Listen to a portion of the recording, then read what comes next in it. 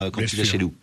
Eric, Eric les amis, je vous propose d'écouter, ça dure une minute, hein, des chants juste après la victoire de la France, donc avant-hier face, face au Danemark.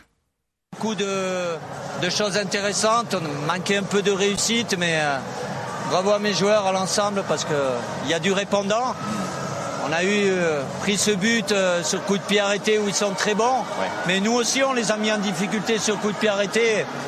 Ça me semble logique qu'on remporte ce, ce match-là face à une belle équipe. Euh, le Danemark est, est souvent sous-côté, mais ce soir, elle a prouvé qu'elle faisait partie des bonnes nations. Mais pour nous, c'est l'idéal. On a six points, donc on est sûr d'être qualifié après deux matchs. Donc on va apprécier ça avant le prochain match dans 4 jours. Soirée parfaite, vous allez pouvoir envisager cette rencontre-là face à la Tunisie avec une grande sérénité. Oui, ça amène euh, la tranquillité, l'assurance d'être qualifié, de très fortes probabilités qu'on soit premier, parce que notre goal average est bien meilleur que celui de, de l'Australie.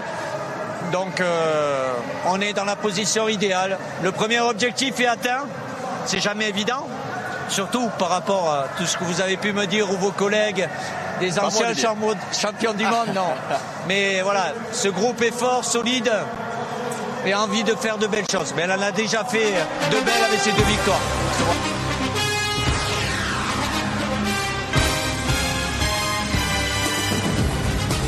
Voilà les amis, un extrait de l'interview de donc Didier Deschamps juste après la victoire face au Danemark. Moi simplement, je voudrais ce soir euh, le demander le ressenti d'Éric Kichard après deux matchs de l'équipe de France.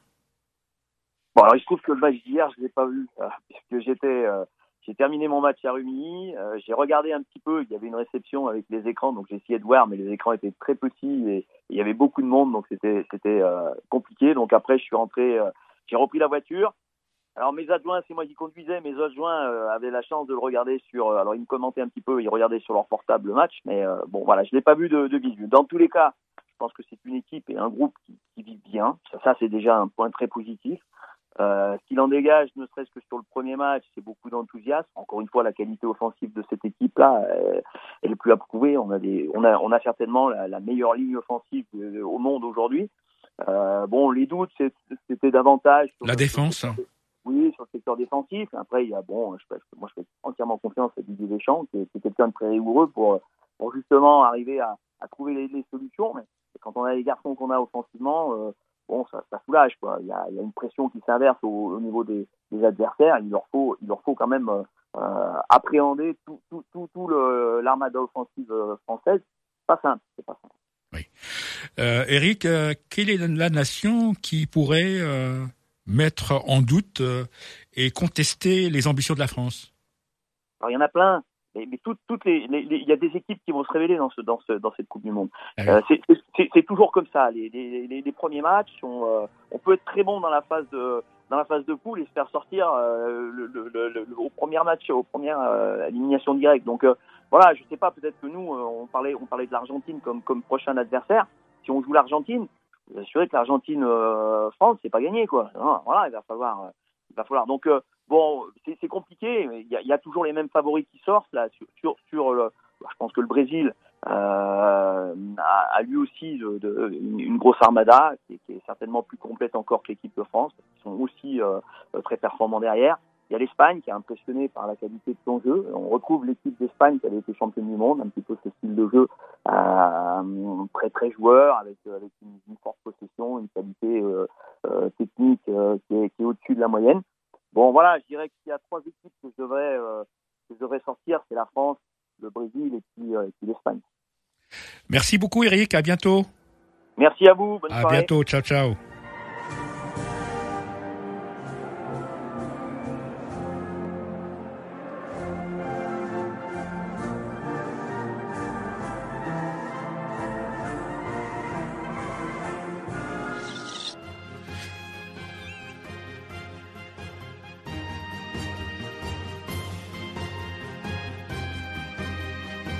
Question adressée à des spécialistes du foot mondial.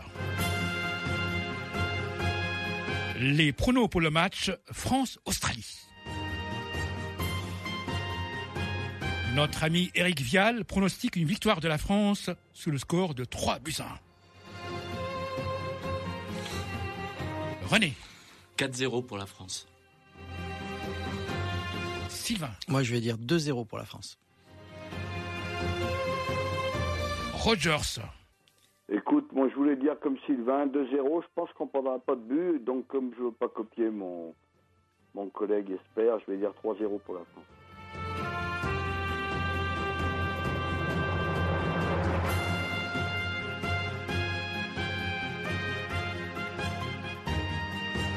Bonjour, je suis Nicolas Puyebois et j'écoute Samy sur Sport Actu. Radio Pluriel. Sport Actu. Sport Actu. Spécial Coupe du Monde.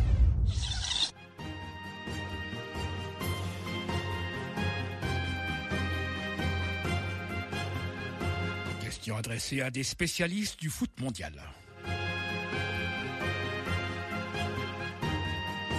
Premier pronostic pour ce mondial au Qatar.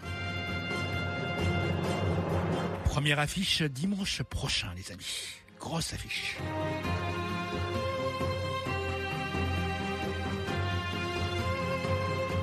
Dimanche prochain, Sénégal, Pays-Bas.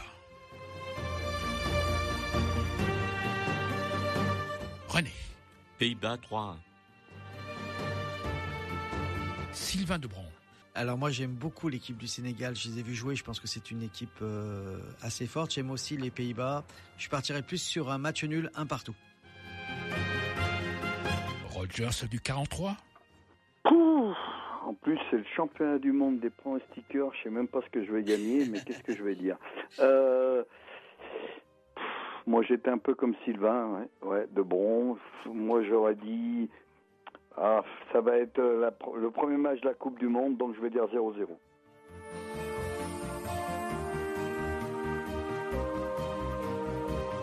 C'est passionnant d'écouter Sport Actu sur Radio Pluriel. Radio Pluriel. Et Eh oui, les amis, nos pronostiqueurs ne sont pas encore en forme. Ce matin, on m'a dit, ils sont comme l'Olympique. Voilà, ils se recherchent encore. Je pourrais dire qu'ils sont aussi comme Lasvel, mais bon. Alors, les Pays-Bas ont battu le Sénégal sur le score de 2 à 0. Gakpo et Klassen. Et René n'était pas loin, hein, l'Australie, France 4-1. Rabiot, Giroud deux fois et Bappé. La Coupe du Monde, c'est pas seulement la France, les amis. La Coupe du Monde, c'est aussi le match de ce soir, un match au sommet entre l'Espagne et l'Allemagne. Mais avant de commenter donc euh, ce match et les, en- les enjeux, je donne rapidement une petite parenthèse, quelques résultats concernant les équipes de Saint-Priest. L'équipe 2 de Saint-Priest a battu, a fait match nul face à Chambéry, deux partout. L'équipe les U17 ont battu, ont été battus par Nice, 2 buts à 1. Les U18 ont battu Villefranche, 2 buts à 1. Et les prochains matchs de Saint-Priest sera samedi prochain, un déplacement du côté de Toulon. Voilà, je ferme la, page. Euh, un match en retard sera le mercredi 14 décembre. Alors, René, le match ce soir a un jeu capital entre grandes nations du foot mondial et européen, l'Espagne et l'Allemagne.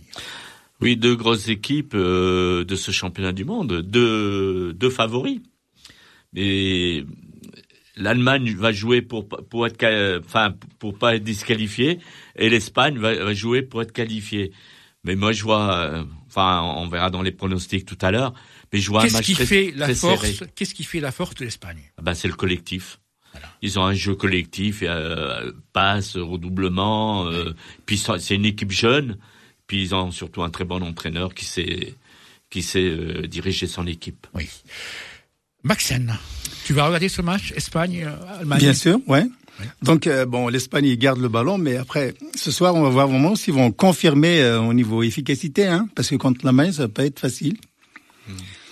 Moi j'aimerais pas que l'Allemagne euh, soit euh, disqualifiée quoi. Oui. Bah, pour le... Sébastien, Sébastien, c'est une nouvelle génération, l'Espagne? Euh, oui, mais une nouvelle génération qui finalement a gardé sa philosophie euh, originelle qui lui avait Possession, fait. ouais. Voilà, exactement. Le, le, j'allais dire le TikTok, non, mais c'est pas ça. Le tac, tac, tic, tac. le, enfin voilà, les, les jeux à une touche, euh, redoublement de passe, effectivement, qui est en en fait, triangle, oui. voilà, avec des, des décalages. inspiré euh, principalement euh, de, de- de- du jeu barcelonais, de, de, de cette période où il dominait. Avec Cruyff. là.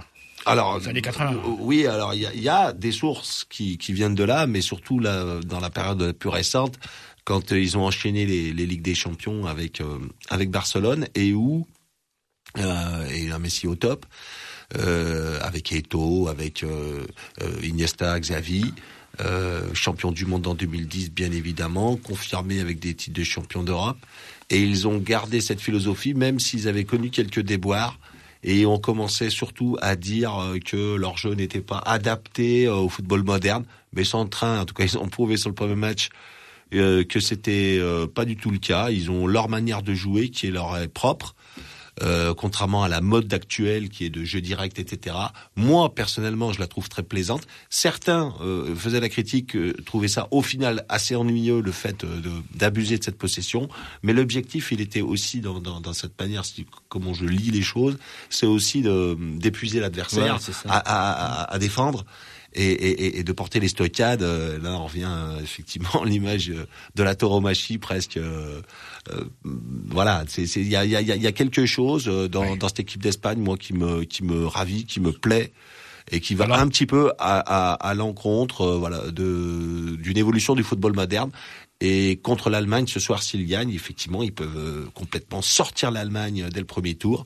Ça sera un événement quand même. Hein. Ça sera un, un immense événement.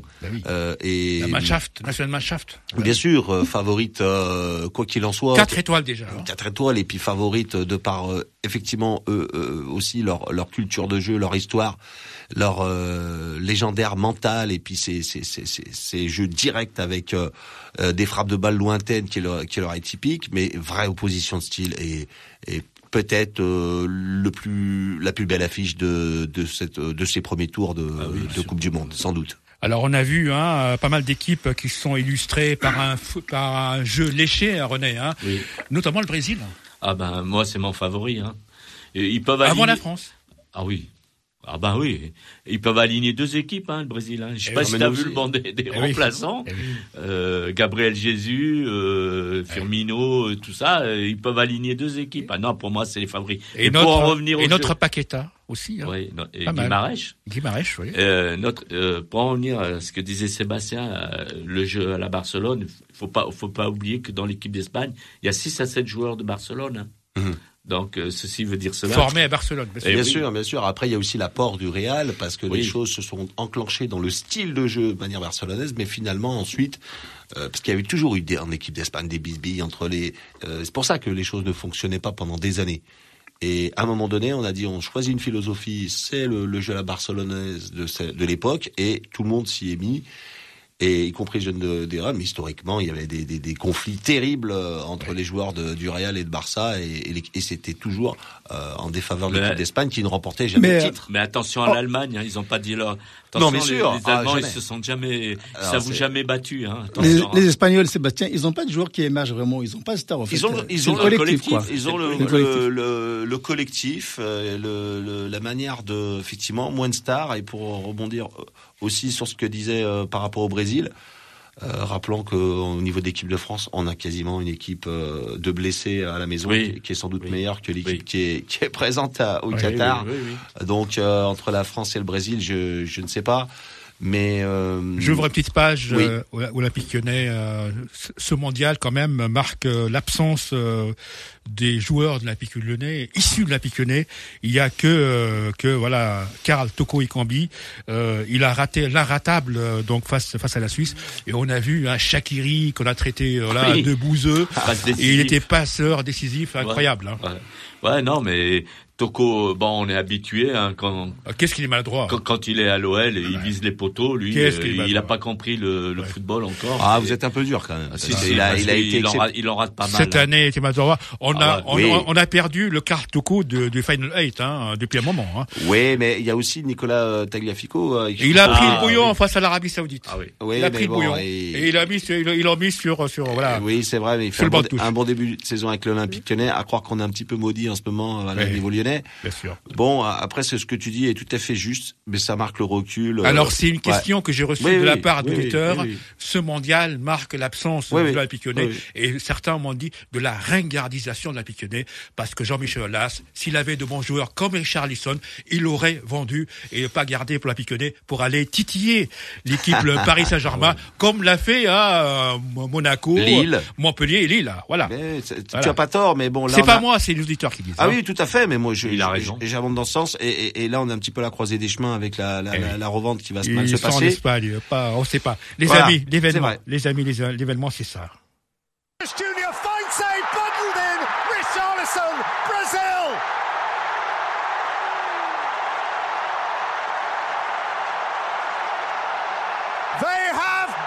Away. And finally, they've knocked the Serbians over.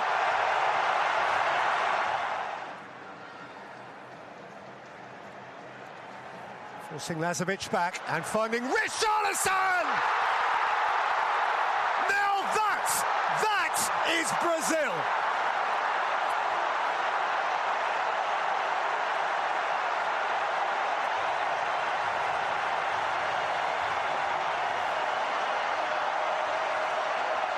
Acrobatic, thrilling.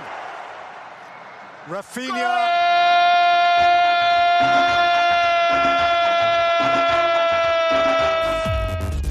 Sport Actu. Plongée dans l'univers du sport. Radio Pluriel 91.5.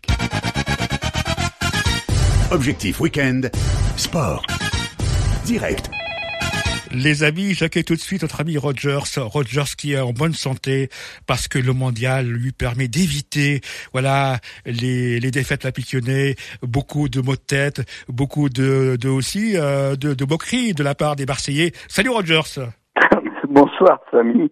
Bonsoir à tous les auditeurs, à tous tes invités. T'es pas dans le On est- 43 euh, ce soir, t'es où? Ah non, je suis dans le 74. Ouh là là, ouh là là, ouh là.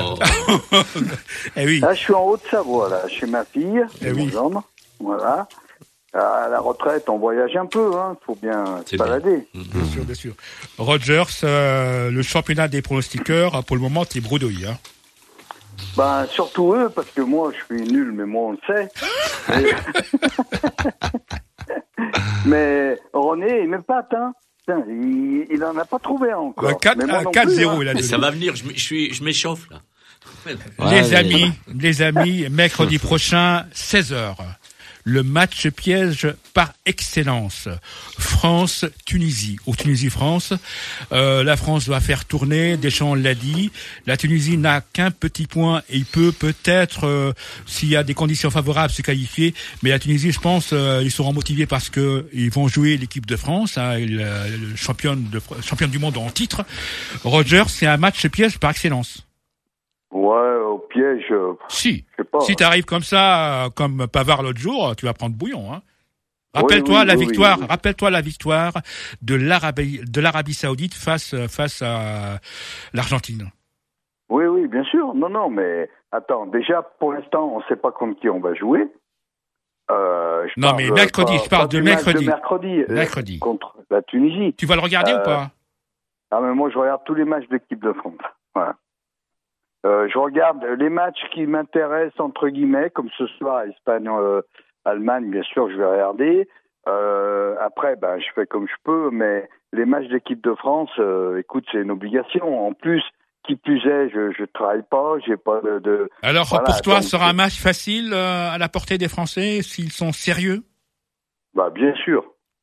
Bah oui, oui, bien sûr. Et je pense que. Parce qu'on a vu les Belges cet après-midi. Hein.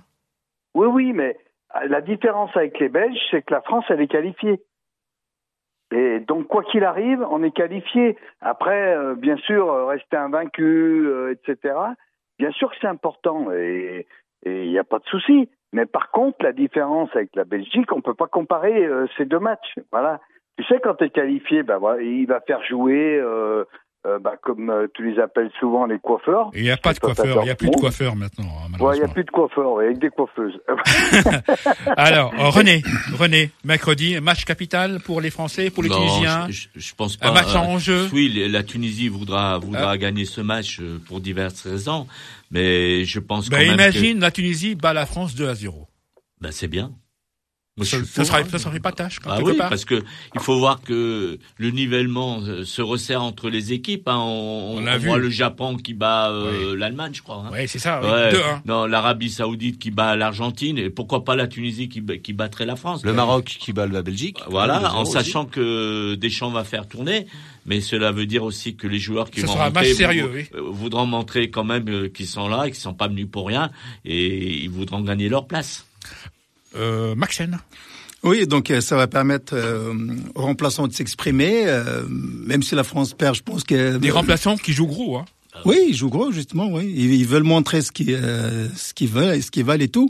Et donc euh, même peut-être que si la France perd et que l'Australie fait match nul, bon, ils sont toujours premiers. Ouais. Donc euh, Tu le prends comme ça. c'est pas grave si on, grave. on perd. Pas grave.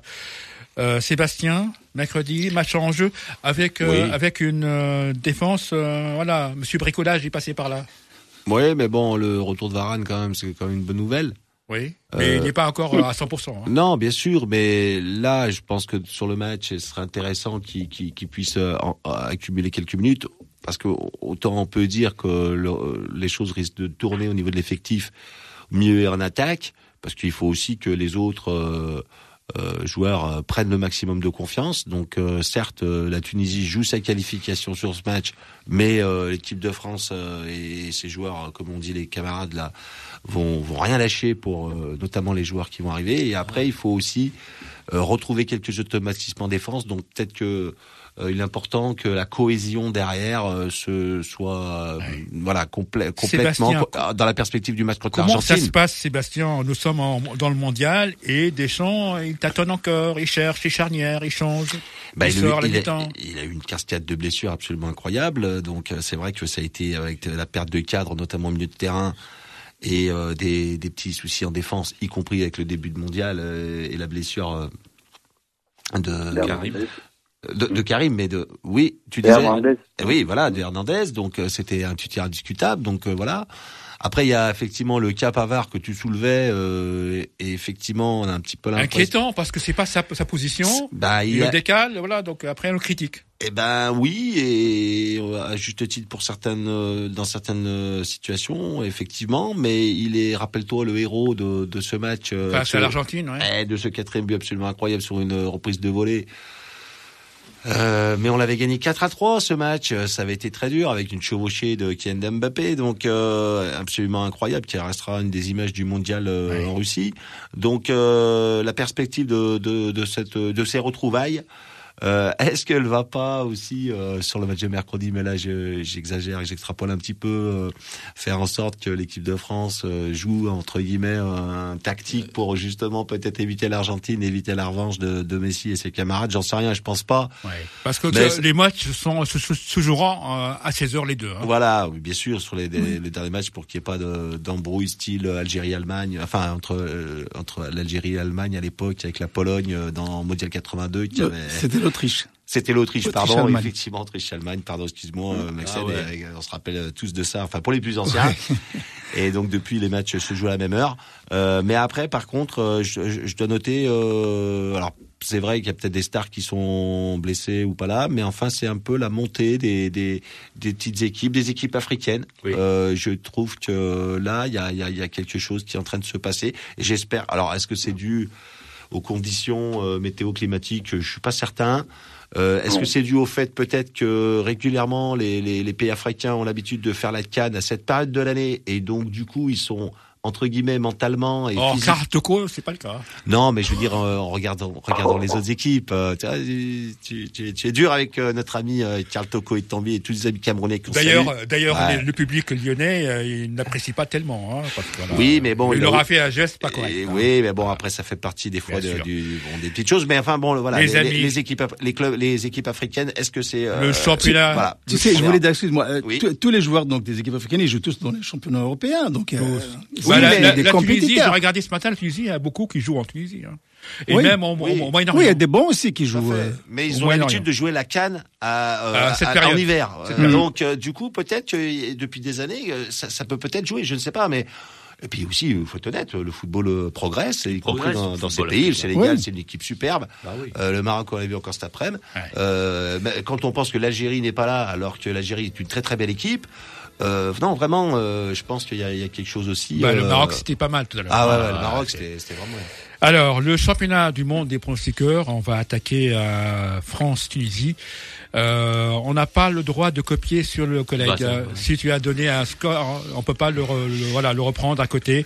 Et évitons les commentaires inutiles de notre ami Rogers. Hein Hein? Allez, c'est parti. Moi, moi j'ai pas de commentaires. C'est parti, c'est parti.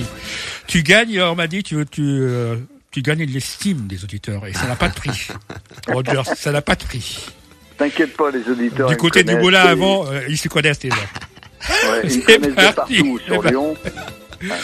Je salue, je salue nos auditeurs du côté du Boulin avant à Vénissieux, les amis un peu partout dans la région. Merci à vous. Et merci euh, dans la France entière.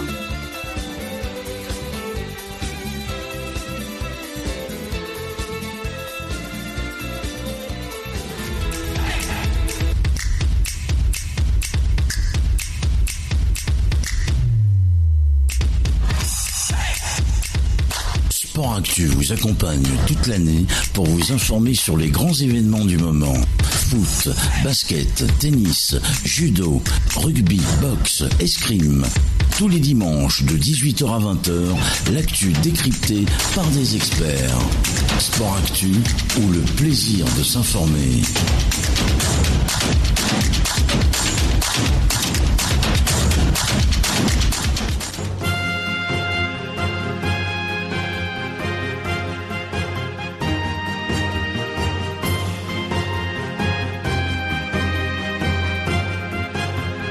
Question adressée à des spécialistes du foot mondial.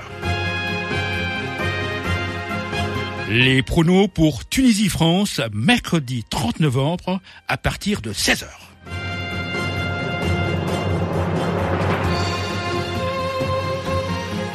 René, Alors moi, je suis partagé parce que j'aime les deux équipes. Alors je vais dire 2-2. Maxen, Un partout. Sébastien, Moi aussi, je suis partagé parce que j'aimerais bien que les Tunisiens, j'ai un très bon copain euh, tunisien euh, qui est régulièrement euh, présent sur les stades à Saint-Priest, Jamel, euh, que je salue. Et voilà, donc je vais dire 2-1 euh, pour la Tunisie, ju- juste pour ce qui- se qualifie et qu'on les voit euh, pour la suite de la compétition. Rogers du côté de la Savoie. Euh, bah moi je dis 3-0 pour la France. Logique, Barca. logique.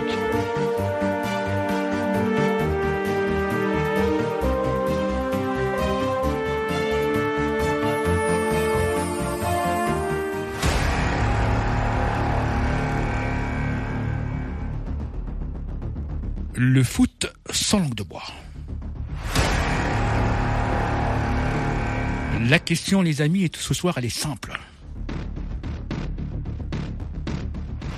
Est-ce que le Brésil est ce soir le principal challenger des Français? Eh oui, Richard Lisson. René. Moi, je dirais le contraire. Que la France est le principal challenger du Brésil. Bah, la France a le titre mondial. Oui, mais ça fait rien. Vu, vu ce qu'on a vu jusqu'à présent et la, la valeur du Brésil, pour moi. Parce que euh, tu penses que le Brésil peut gagner rapidement? Ah ouais, je pense que ils sont au-dessus du lot. Maxen. Je dirais oui, oui. Après, ça dépendra de. le principal challenger pour justement récupérer cette sixième étoile. Oui, le Brésil, oui. Surtout s'il récupère Neymar, là, qui est blessé pour, pour l'instant. Quelle équipe hein Quelle équipe Euh, pardon Des artistes Des artistes euh, Brésiliens. Brésiliens. Eh oui. Oui. Eh oui. Neymar et, et notre. euh, Eh oui. je crois. Paqueta et compagnie. Paqueta, voilà. Sébastien.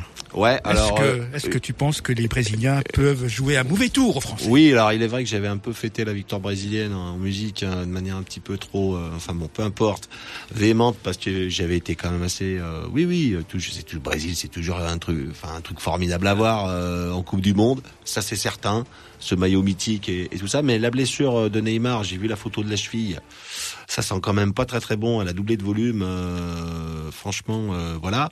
Et après quand même, Mais ils euh, ont une armada tellement riche, hein, donc. euh, bah, Amarda, oui, je suis, je suis d'accord, parce que Gabriel Jésus derrière, ça peut aussi rentrer. Maintenant, Paqueta, qui est le dépositeur un peu meneur de jeu, L'ex-Lyonnais. euh, l'ex-Lyonnais, mais qui n'a pas fait un, un super transfert, en tout cas de, de bon début à, à Newcastle. Euh, non, West Ham, pardon. Euh, oui, Oui, West Ham, c'est Guimarães. Newcastle, c'est Guimarães. Euh, pourrait euh, interroger sur euh, sur leur capacité à, à vraiment euh, inquiéter euh, tout- l'équ- alors l'équipe de France, mais pas que, parce que je pense qu'en fait dans ce dans ce mondial, il y a il y a cinq six euh, favoris. Alors après, vous allez me dire, je prends pas trop de risques. Hein, comme ça, je suis sûr d'avoir. euh, Je le pose la question à Rogers. Rogers. Mais ouais, l'Espagne me paraît plus costaud. Le principal challenger des Français, le Brésil, ce soir. Euh, non, moi je suis un peu d'accord avec Seb. Euh, moi je pense qu'on n'a encore pas vu grand chose. On est toujours. euh, Non, mais tu réponds poules. pas à la question. Si, je vais te répondre à la question. Moi je pense que le Brésil, tu sais, il peut faire comme souvent il l'a fait. voilà, il m'a pas impressionné pour l'instant, c'est tout. L'autre- le dernier match où les deux buts de Richard Dixon, là, comme tu, tu le nommes souvent euh, depuis le début de l'émission, moi je peux te dire qu'ils m'ont pas impressionné du tout, du tout. Voilà. Les Et amis, après, les amis. tu sais, c'est que les poules. Hein. Bien sûr. Les amis, le, le mondial, c'est aussi ça. Deuxième chance pour euh, Platini. Bon ben, de toute façon, comme il y en a eu trois de bien placés qui ont été ratés tous les trois, on efface tout et on recommence.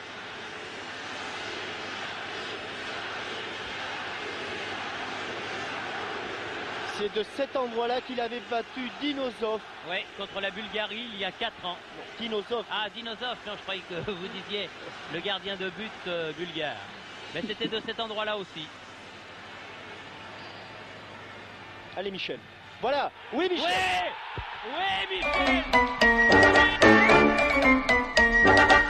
Eh oui, les amis, c'est presque la fin. Merci Maxène. Merci, Merci, Sébastien. merci à toi, merci à tout le monde. Merci René. Merci Rogers.